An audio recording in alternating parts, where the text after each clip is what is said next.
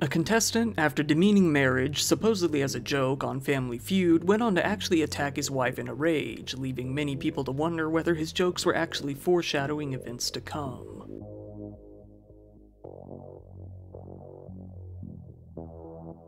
Every once in a while, a reality show contestant will go on to commit some sort of awful crime that makes us wonder how these seemingly normal people can pull off something so horrific. This is one of those cases, but let's start back at the beginning to really get the full scope. On September 18th of 2009, Becky and Timothy Bliefnick got married after dating for a few years. After getting married, Becky graduated summa cum laude from Blessing Rieman College of Nursing and Health Sciences. While doing so, she even received the Faculty Outstanding Senior Award. Even more impressively, she gave birth to her third child toward the end of her senior year and only ended up missing one day of school. She was pretty accomplished, to say the least.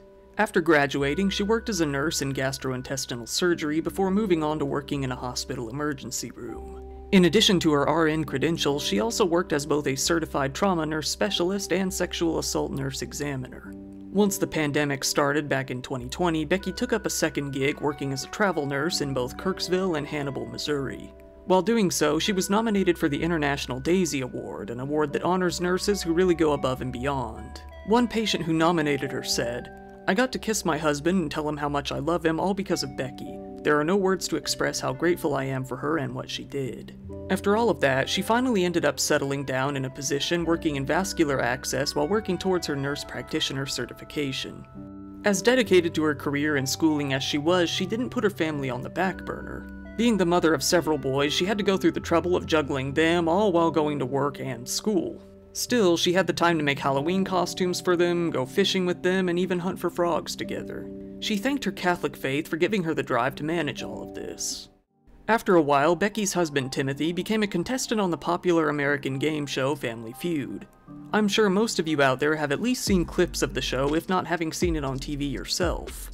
One of the most well known aspects of the show is when the host, Steve Harvey, reacts in disappointment whenever a contestant gives a vulgar or shocking response to a question. Timothy was one of those contestants. Timothy's episode was recorded in 2019 and aired in 2020. While his family was not on the panel with him, he was asked a question, What's the biggest mistake you made at your wedding? with the task of predicting the most common answer people gave to that question in a survey. When asked, he gave this response. What's the biggest mistake you made at your wedding? Honey, I love you, but said I do. not my mistake. Not my mistake. I love my wife. Nobody out there, including Tim's own wife, was really surprised at his answer to the question. They felt that this was pretty par for the course, being just his type of humor, pretty deadpan and a little bit insulting. That's just kind of how he was, said Becky's sister Sarah in relation to the joke. It was not really anything out of the ordinary. With Tim asserting that his answer wasn't related to his own marriage in any sort of way, the comment was taken as the usual, funny, clippable sort of moment the show is known for. But it would provide a bit of foreshadowing. Tim and Becky's marriage, unfortunately, did not last. After just over 10 years of marriage, the couple went on to divorce in 2021. The divorce was not a smooth one. It seems that Tim's mental health had been gradually deteriorating over time, with him making comments that would worry Becky more and more as time went on. She told her sister, I am putting this in writing that I'm fearful he will somehow harm me, come after me, or will try to do something to me that takes me away from the kids or the kids away from me. He already has lied multiple times to paint himself as a victim and me as a perpetrator when it is absolutely the other way around. It seems that Becky knew certain secret details about Tim's father that Tim was very afraid she would leak. Becky said, He told me that if I outed his dad, that he, the dad, would probably have to move and then kill himself. Speaking of the father, she added, I absolutely think he will try to take the kids sometime. By June of 2021, Becky was sending more and more concerning Facebook messages to her friends detailing the ongoing issues with the divorce. She told one friend, without elaborating, that she didn't want Tim's father to ever have contact with her kids again. More than anything, she was very worried that he would try to run off with the kids. She said that she believed that Tim had, in her own words, true mental health problems. This was to the extent that she wanted to get an order of protection but was scared to go through the process. Becky's sister said, So I received the text message that I testified to in court in September of 2021, and we knew that the divorce was contentious before that. But that was the first time where she illuminated or she made clear that, you know, something is dramatically wrong. She says she wanted to put it in writing that if something ever happened to her, we should first think of him. Shortly after, Becky started to tell her friends about Tim's behavior that had been growing gradually more concerning. She feared what he might do if he didn't end up with custody of the kids.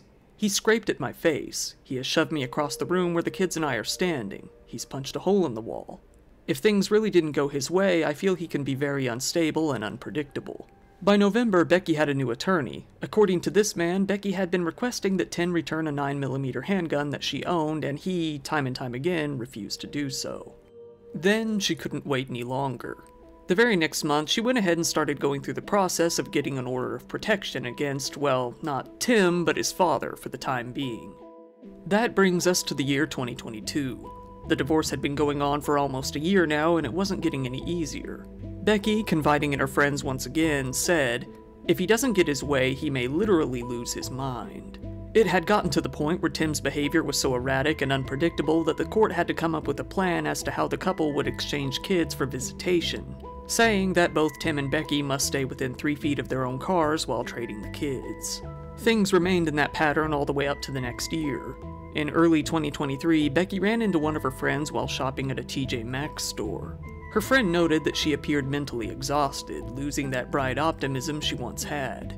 They talked about the divorce and how Becky lived in fear of Tim snapping and doing something crazy at any moment.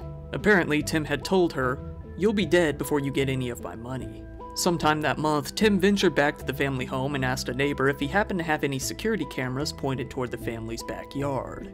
After, Tim called the police and asked if they would mind returning the 9mm handgun back to Becky because he didn't want to give it to her in person himself. The police didn't go along with it. Shortly after, Tim began plotting. He bought a bicycle on Facebook Marketplace under a fake name and started riding it from his new residence back to the family home, over and over, scoping out both the route and the home, trying to get a gauge of how tight surveillance was in the area.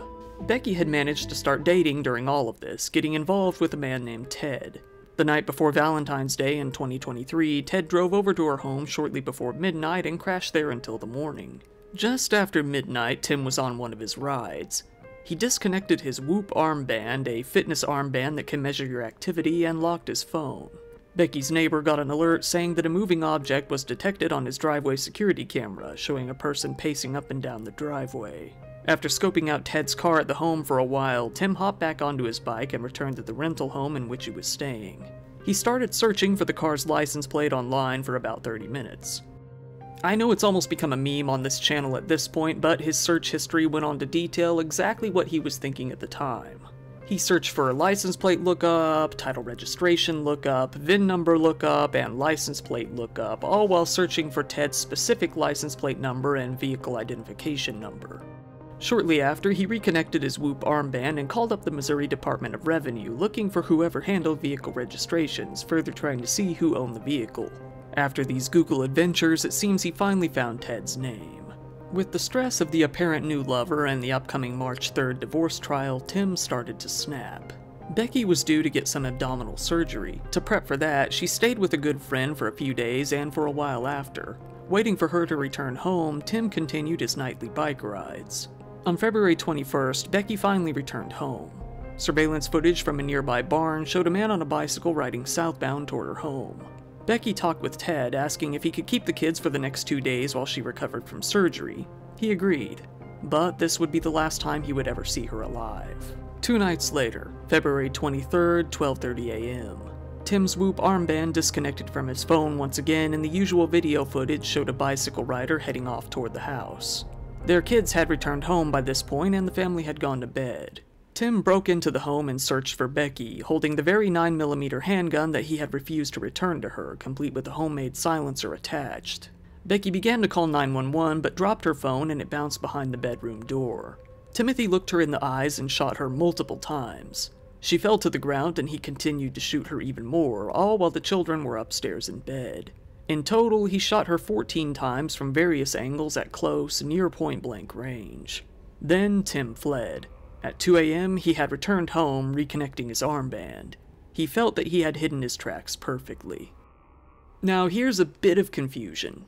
It seems that the kids woke up and went to school on their own, thinking that their mother was asleep, as later statements have confirmed that they were in the house at the time of the shooting.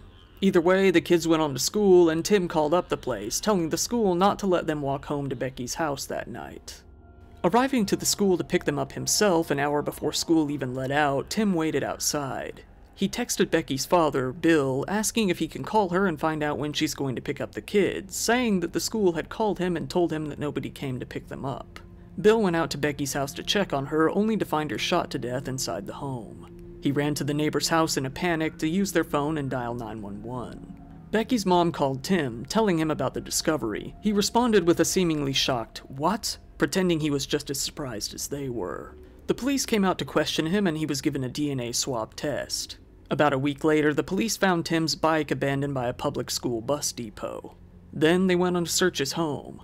There, the police found what they called damning evidence, including his internet search history, which had now expanded to include such queries as how to break into a window with a crowbar, how to create a homemade gun silencer, and average police response time. Not exactly subtle. On March 13th, Tim was officially arrested and charged with Becky's murder. By May, he was on trial. His charges were one count of first degree murder and one count of home invasion. During the week long trial, he told the police that he felt his wife was merely the victim of a random, violent home invasion. The prosecutors felt that this was obviously not the case, laying the evidence out in front of him for all to see. It didn't leave much doubt.